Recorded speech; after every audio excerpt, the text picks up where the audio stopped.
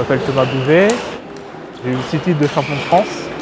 Je suis vice-champion du monde par équipe en 2010, troisième au championnat d'Europe 2011 en par équipe aussi, et quart de finaliste en simple des championnats du monde en 2010 aussi.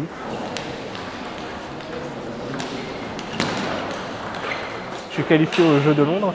Après, pas encore sélectionné, il faut encore attendre la confirmation de la part de la Fédé. Ça fait 5 ans que je m'entraîne pour ça, que j'y pense, euh, que je fais des efforts pour. Donc euh, oui, c'est un énorme challenge, une grosse fierté.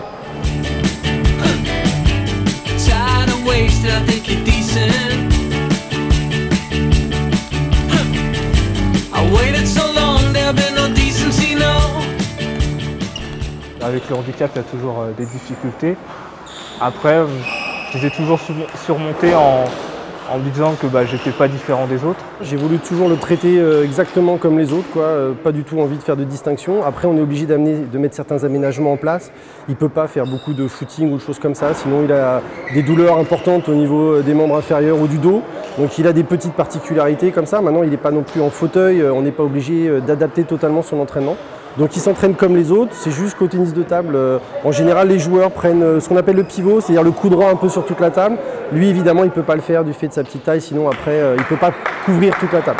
C'est le seul aménagement qu'on met en place.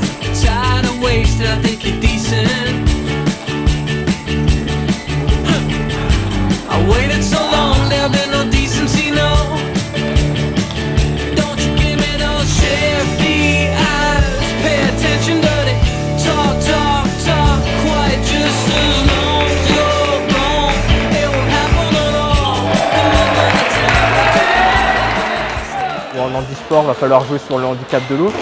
Comme les autres sont handicapés aussi, donc ils vont jouer sur mon handicap. il va falloir que je m'adapte à leur handicap, que j'ai par exemple s'ils ont un problème de jambe, que je les fasse bouger. Il y a tout ça, alors que là en valide, c'est plus sur les problèmes techniques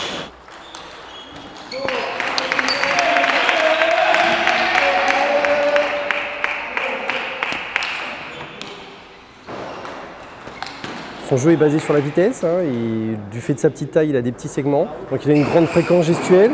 C'est un jeune euh, hyper chouette, il est très impliqué dans son projet, très déterminé. Euh, soit lui ou son père, ils ont essayé de mettre tout en place pour qu'il puisse réaliser son rêve, être dans les meilleurs mondiaux en handisport et puis, euh, si possible, jouer le titre olympique, soit sur cette Olympiade et peut-être plus certainement sur la prochaine à Rio.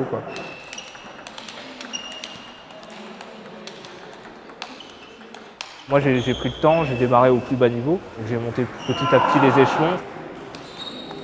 Tout est possible, quel que soit le handicap, quel que soit euh, le problème physique que peut avoir une personne, tout est possible, il faut juste y croire en fait.